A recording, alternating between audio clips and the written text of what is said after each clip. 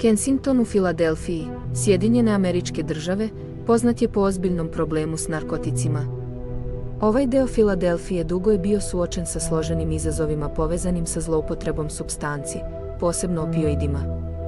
Problemi u ovom delu grada uključuju visoku stopu zavisnosti od opioida, beskućništvo i povezane društvene probleme.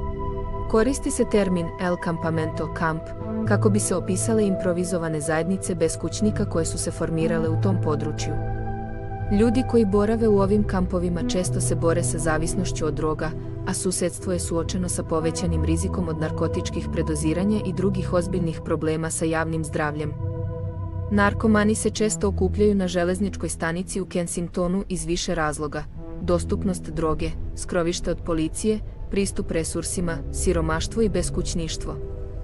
Lokalne vlasti, zajedno s nevladinim organizacijama i zdravstvenim ustanovama, rade na raznim inicijativama kako bi se suočile s ovim izazovima. To uključuje pristup lečenju zavisnosti, pružanje pomoći beskućnicima i sprovođenje mera javnog zdravstva kako bi se smanjio rizik od predoziranja.